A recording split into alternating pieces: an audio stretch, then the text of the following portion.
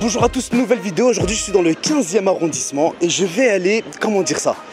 Pour faire, pour faire simple, je vais aller dans le McDo libanais. En fait, c'est une grosse franchise qui est présente au Liban et qui est venue s'implanter ici à Paris. Et pour m'accompagner, j'ai décidé d'inviter un mec que j'ai rencontré il y a plus de 10 ans dans un snack. Je crois il y a même 15 ans. J'étais super jeune, j'étais un petit adolescent et j'allais manger dans le snack où il travaille. Là, on va aller le rencontrer et on va aller manger libanais. Let's go. Khalil, comment tu vas, mon ref? Ça va et toi? Nickel. On s'est rencontrés, j'avais quoi, 11-12 ans? Je mangeais dans, le snack où tu travaillais. Maintenant, qu'est-ce que tu fais? Est-ce que tu as ouvert un snack? Est-ce que, Où est-ce qu'on en est? Ah, il y a plein de choses qui ont changé depuis, euh, depuis toutes ces années. C'est fini les snacks pour moi. Bon, il m'arrive parfois d'aller manger. Hein. Aujourd'hui, je suis juriste et praticien du droit et je suis aussi enseignant de droit public à l'université. Voilà, donc. Euh... Hein, J'ai rien, rien, compris. Attends, attends. En mes termes à moi, qu'est-ce que tu fais? Je, je, pratique le droit. Le droit, c'est mon métier de tous les jours. Ça veut dire que j'écris euh, des mémoires pour le tribunal. Ça veut dire que j'y vais aussi. Ça veut dire que je défends les personnes pour qui je travaille. Et en même temps, j'enseigne. Ça c'est facile à l'université? le droit. Ça, tout le monde peut le comprendre, mais c'est à l'université. Quelle université? À l'université Panthéon-Sorbonne, Paris 1. Attends, attends, attends, attends, attends, attends. Là, je suis avec un monsieur qui est enseignant à la Sorbonne, c'est ça? C'est ça, je suis donc euh, chargé d'enseignement Attends, je, te coupe la parole, je suis obligé de te couper la parole. Excuse-moi Khalil. En fait, ce que, ce que j'arrive pas à comprendre, c'est que quand tu travaillais au snack, tu avais arrêté l'école, etc. Non? Ah oui, moi j'avais arrêté depuis, depuis un petit moment. J'avais arrêté moi à 16 ans, pour faire simple. Quand j'ai pu arrêter, j'ai repris à 24 ans. Ah, moi j'ai grandi à, Argenteuil, Beson. Donc ouais, ça a été vraiment beaucoup de travail, beaucoup de sacrifices. Je regrette absolument pas aujourd'hui. Je peux te poser une question qui est un peu bizarre. Est-ce que les personnes qui font le même métier que toi sont ici eux aussi de banlieue Pour être tout à fait transparent avec toi, j'ai principalement fait que des universités parisiennes. Et en fait, plus tu montes dans les études, malheureusement, moins je rencontrais des gens qui étaient issus de là où euh, j'avais grandi. Je rencontrais pas des mecs euh, d'Argenteuil avec qui je traînais en bas.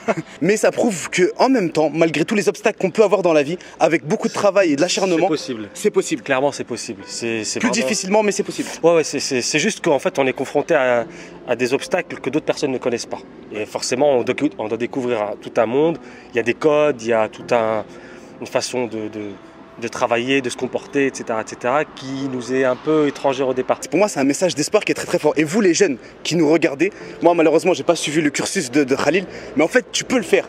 Quoi que ce soit, ça peut être de la mécanique, des études, ce que tu veux. Si tu es déterminé, tu bosses comme un ouf, malgré qu'il y a des obstacles existants, tu peux le faire. Je trouve que ce message, il est d'autant plus important. Pourquoi? Parce qu'on est en plus à une, époque où, avec les réseaux sociaux, avec Internet, il y a de plus en plus de, de, de publicité et de gens qui veulent, si tu veux, vendre du rêve à d'autres personnes. Très sincèrement, je je, veux briser le rêve de personne. Si des personnes veulent devenir millionnaires, milliardaires, montrer des empires, pourquoi pas? Je pense une règle à retenir principe très simple, c'est qu'on n'a rien sans rien et que tu peux pas devenir euh, millionnaire en faisant appel parce que sinon tout le monde le ferait. Bien entendu, qui... bien qui arrive, on a des exemples tous les jours, des contre-exemples, mais je pense qu'on a affaire à des exceptions et beaucoup trop de gens s'attachent aux exceptions et oublient l'écrasante majorité qui, elle, n'y arrive pas en empruntant cette voie-là. En plus de ça, Khalil, tu donnes des cours d'arabe.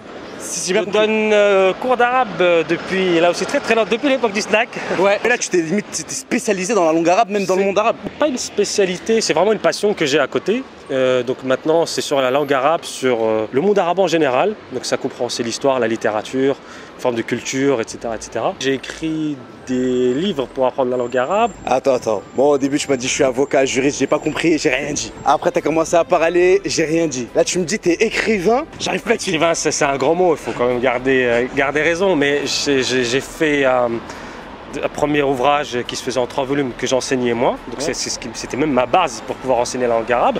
Il y avait à peu près 1000 euh, pages de de, leçons, d'exercices, etc. etc. Peut-être d'autres projets viendront derrière en ce qui concerne la langue arabe, peut-être un projet de livre d'histoire. Je vais voir, je me donne C'est quoi ton but Démocratiser la langue arabe? Le but c'est ça. Une des langues les plus parlées au monde, une langue qui est extrêmement riche de par son patrimoine. On a au minimum 15 siècles, j'allais dire, de patrimoine littéraire, linguistique, historique. Est-ce qu'on peut aller manger Allez, Et pendant notre repas, tu me fais un récapitulatif autour de la langue arabe ou du monde arabe, mhm. un truc super simple pour que moi ainsi que mes abonnés puissions comprendre. Ok, on fait ça. Pas un truc poussé non plus. Non. Un truc tranquille. Vas-y, let's go.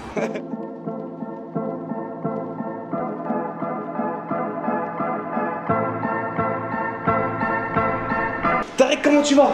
Très bien. Est-ce que tu peux expliquer le concept en quelques mots? C'est une chaîne qui, vient du Liban en fait.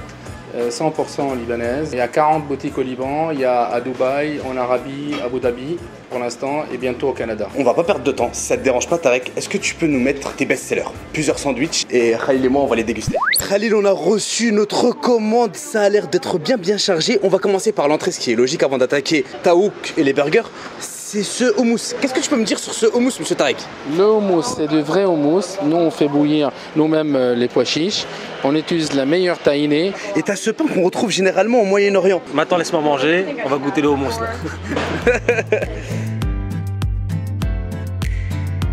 le mélange se fait très bien entre l'huile et le hummus. Je vais goûter ce fameux houmous. Ah ouais, regarde-moi ça. Oh là là, avec l'huile d'olive là. Ce fameux houmous, il me l'a très très bien vendu. Elle est magnifique, avec l'huile d'olive. C'est extrêmement bon.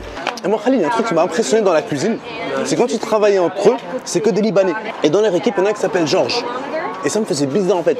Yallah, il y a Georges, euh, non, non, non, t'as capté ce que je veux dire? Et après, Georges, il répondait en arabe. Ça m'a fait bizarre. Le monde arabe n'est pas synonyme de monde musulman. Et l'un ne recoupe pas l'autre. Dans le monde musulman, il y a des pays qui ne sont pas du tout arabes, comme l'Indonésie. Et dans le monde arabe, il y a également des gens qui ne sont pas musulmans. Particulièrement dans les pays du Proche, du Proche-Orient, Liban, Syrie, euh, aussi en Jordanie, en Palestine. Il y a une communauté, des minorités qui sont chrétiennes et même dans le christianisme, c'est des maronites, des catholiques et autres. Et donc nécessairement, ils ont des noms euh, qui ne correspondent pas à ce que par exemple des personnes euh, maghrébines vivant en France ou d'origine maghrébine ont l'habitude d'entendre. Et en fait, dans le tête, c'est une grosse sectuka, tu vois. Mais ça fait bizarre. Il faut quand même garder à l'esprit qu'il y avait des chrétiens en terre arabe bien avant que l'islam n'arrive, donc bien avant les musulmans, que ce soit dans la péninsule arabique, voire même au Maghreb et ailleurs. Et donc euh, les chrétiens, ils ont une part très très importante quand même dans l'héritage arabe, et ça, il faut la prendre en considération. Vu que j'ai jamais réfléchi à ça, pour moi, tu vois, l'arabe, c'est arrivé en même temps que l'islam. T'avais des chrétiens qui étaient arabes alors que l'islam et les musulmans n'existaient même pas. Ah ouais, ça, j'ai jamais pensé à ça. Là, on va passer au fameux burger de chez Malak Tamouk. Et le truc de ouf, c'est que dans le burger, regardez-moi ça, ils mettent des frites. Vous avez bien entendu, des frites. Et il me dit qu'au Liban, ils font ça aussi. Et pour savoir ce qu'il y a à l'intérieur, je donne la parole à monsieur Tarek. Mariné avec des épices qui viennent du Liban. Et salade de, salade de chou coleslaw, on met le coleslaw parce que c'est un beef, euh, c'est le vrai burger libanais, il s'appelle le beef burger, et trois cornichons. Voilà. Ah, franchement, déjà visuellement, il a l'air d'être appétissant. Je me lance sur ce burger tacos. T'as capté frites, tac, tac. Ça est vraiment archi bon. Mais en fait, la viande, elle est, elle est cuite au grill. C'est ce petit goût fumé. T'as les frites qui rapportent un- une petite mâche. T'as le coleslaw qui rapporte un croquant, une fraîcheur à l'intérieur. Ça, il est vraiment, vraiment terrible. Waouh. L'ensemble, en plus, c'est quelque chose que j'aime beaucoup, moi. C'est le- Il y a un petit côté sucré-salé. Mais le tout, mais avec le pomme de terre. C'est à la base, je suis pas très fan des pommes de terre, des frites à l'intérieur d'un sandwich. mais là, franchement, ils en mettent pas beaucoup. Et le tout fait que ça donne quelque chose d'assez euh, homogène très agréable à manger. Je te rejoins totalement. Dès que j'ai vu qu'il a mis des frites dans le burger, j'ai dit n'importe quoi. Qu'est-ce qu'ils sont partis foutre encore? Mais eh, le, le mélange, il passe super bien. Mais pour moi, la cuisine libanaise, syrienne, irakienne, même turque, elle se ressemble énormément. On peut considérer qu'il y a des, des régions culinaires. C'est sûr que le Maghreb, c'est pareil. Le Tunisien va pas considérer que sa cuisine est tout à fait la même que le Marocain ou l'Algérien. Mais en réalité, quand tu regardes tout ça de très loin, si tu compares par exemple des cuisines asiatiques, tu vas dire oui, il y a quand même beaucoup de proximité entre la cuisine tunisienne et marocaine. C'est la même chose au niveau du Proche-Orient. Officiellement, l'Empire ottoman, il chute après la Première Guerre mondiale. D'accord? Ils ont perdu la guerre. Il y a une dislocation et la plupart des provinces de l'Empire ottoman sont mises sous mandat. Et surtout mandat français et, britannique. Tous ces pays-là, en fait, sont nés quand je dis pays, c'est vraiment au sens d'État-nation. Ça veut pas dire que les peuples n'existaient pas avant, qu'ils n'avaient pas de culture, pas de langue, bien sûr que si. Avant, le palestinien, le jordanien, le syrien et le libanais, c'était presque un seul et même peuple. On voit bien que même au niveau de la langue, ils ont un dialecte quasiment identique. Contrairement, par exemple, à des dialectes comme ceux du Moyen-Orient, koweïtien, saoudien, etc., etc. C'est super intéressant. Avant de passer au fameux taouk, parce qu'il me donne vraiment envie, c'est leur produit phare, on va manger le chicken burger à la libanaise. Et pour savoir ce qu'il y a à l'intérieur, je vais appeler Monsieur Tarek. Le, le filet de poulet mariné comme le taouk aussi. La sauce aioli, c'est une sauce aioli mélangée avec la sauce toum. Ah, même dans celui-ci, il y a des frites. c'est des tueurs. L'assemblage de ce burger, il est juste magnifique. L'équilibre des saveurs est totalement présent. Très très très bien fait. اللبنانيين اشرح لي ما هي المشكلة مع كوكاكولا؟ ما في مشكل مع كوكاكولا نحن Attends, qu'est-ce que tu as dit là en français Parce que- dit en Quand- pourquoi, pourquoi vous parlez, pourquoi, quand vous, quand- pourquoi quand vous parlez en arabe, on dirait que vous êtes énervé Les arabes, c'est un truc de. On dirait qu'il y a un embrouille. Explique-moi ce que tu as dit. J'ai simplement demandé parce que je- à plusieurs fois lorsque je vais chez des Libanais, je remarque qu'ils n'ont pas de Coca-Cola. Moi j'ai besoin de mon Coca-Cola à la fin de mon repas. Et donc et je vois qu'ils ont du Pepsi. Donc je lui demande c'est quoi le problème des Libanais avec le Coca? Purée, on dirait que c'est en train de faire un constat. Mais le mouchkil là, Mohamed. problème avec le coca, mais le Pepsi a toujours été présent au Liban depuis, depuis longtemps. Et surtout la marque Malak Tao, il, il- il travaille avec Pepsi. Et nous, on doit respecter le contrat de la marque. C'est pour ça on n'a que du Pepsi, on n'aura jamais de coca. Mais bon, le Pepsi fera l'affaire. C'est l'embrouille, elle est réglée C'est bon, c'est terminé. Moi, depuis tout petit, quand je passais devant les dessins animés arabes, tu vois, le personnage méchant, il a une vraie voix de méchant, tu vois. C'est Arqtuluka, ya, ya Walad. Tu vois, c'est waouh, c'est chaud. Allez, on va passer au sandwich au sujuk. Encore une fois, moi, je pensais que le sujuk, c'était un truc spécifique à la Turquie. C'est ça, un sandwich au sujuk. Il y a quoi à l'intérieur, monsieur Khalil? Bah, je vais te montrer. Après, on a le soujouk, les petites saucisses arméniennes qui sont un peu piquantes, d'accord, qui sont libanaises. Les, les épices viennent du Liban. Nous-mêmes, on fait ces, ces saucisses-là. Tomates, cornichons, houmous et trois frites.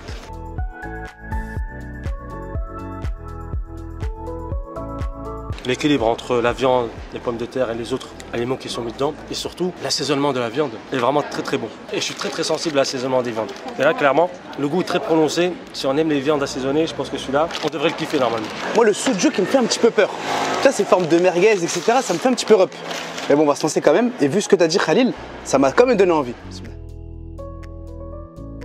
Wow Et il a vraiment du goût. Vraiment, ce, Libanais-là, il est pour moi excellent. C'est un fast-food, c'est une chaîne. Et on sait que quand tu essaies de dupliquer un concept, c'est très très compliqué de garder la qualité. Et là, pour le coup, ils ont réussi à garder la qualité. Là, c'est super bon. Tout ce que j'ai mangé de A jusqu'à Z, c'était juste excellent. Et là, c'est le moment de me lancer pour le produit phare, le fameux taouk. Pour savoir ce qu'il y a à l'intérieur, monsieur Tariq va nous le dire.